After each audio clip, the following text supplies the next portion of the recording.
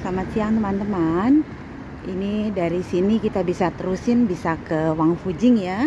Di ujung sana kita ada Forbidden City, ada Tiananmen. Kalau kita jalan lurus terus sampai ke depan sana kita masuk ke Wang Fujing.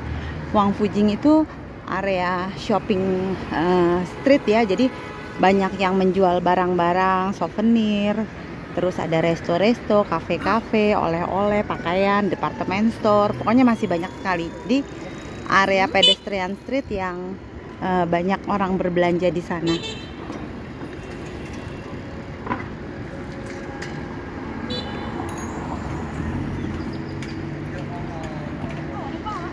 Nah ini kita lagi ada menunggu lampu merah, lampu hijau.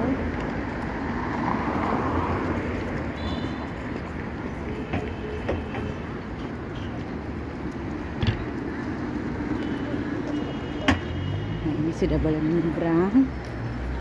Ini Wangfu Century ya hari ini tanggal 27 Oktober 2023 Oke ikuti terus perjalanan kami. Terima kasih salam sehat selalu Tuhan memberkati